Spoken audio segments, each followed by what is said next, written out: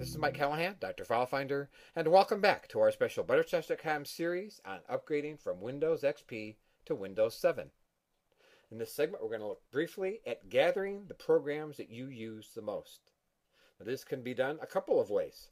For some people who do a fresh, clean install, they back up their data and then they reinstall all of their programs and load in the data.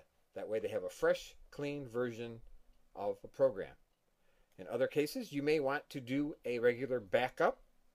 A few excellent programs here. I've put links in the show notes. Image for Windows. Can do a complete image. Restore individual programs and files. Macrium Reflect does the same.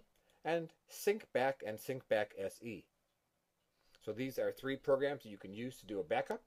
If you're going to do the other way, Make a list of the programs you use most by going through your computer and looking. Make the list, download the programs, and put them on an external hard drive, a USB thumb drive, a DVD, and that way you have them ready. Another thing you have to be sure of is that before you back up only data, you have to be certain that the program can import the data once you've reinstalled the program. So these are the things that you have to do.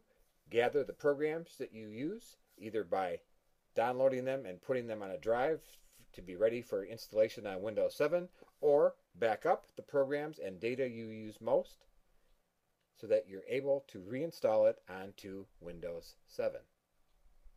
Keep in mind that this is a multiple part series. Be sure to watch all the parts.